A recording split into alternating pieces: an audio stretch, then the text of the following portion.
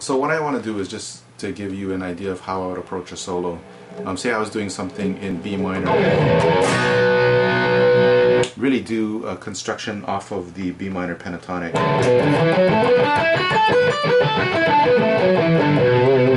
But then I'd add in all of the notes that turn it into a minor scale.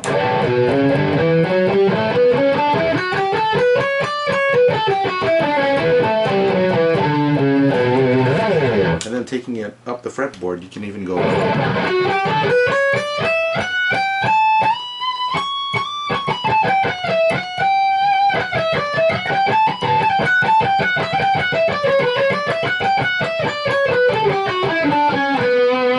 Then actually going down, you could go.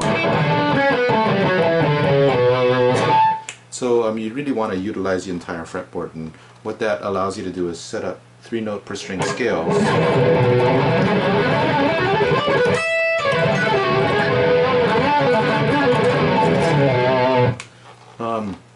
When I'm double picking, a lot of times I'll like to use the neck pickup. What it does is it gives it more of that Yngwie type sound.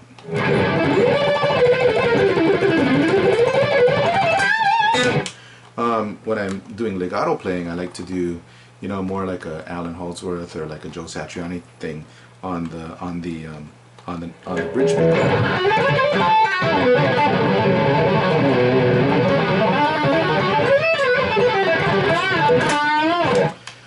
And then, of course, breaking it up with a little bit of palm muting. You can palm, uh, combine palm muting with double picking. You can combine palm muting with uh, legato playing.